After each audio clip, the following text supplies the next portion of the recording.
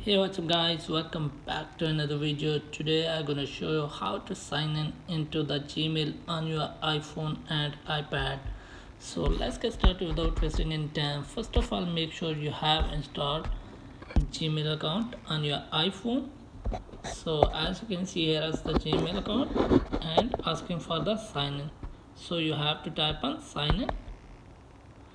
As you can see there are many options. First of all google icloud outlook office yahoo and other. So you have to select on the google.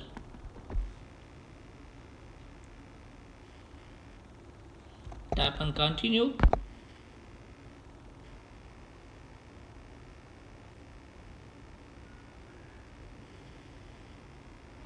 As you can see asking for the email and phone number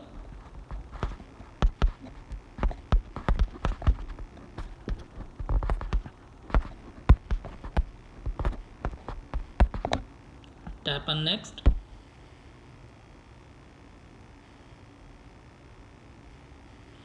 And give the passcode of gmail.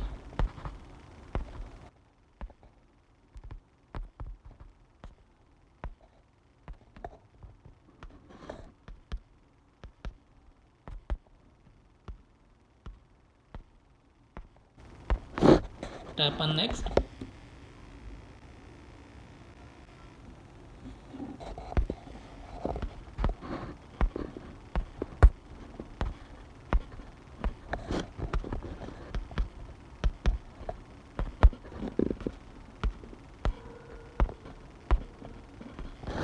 tap on next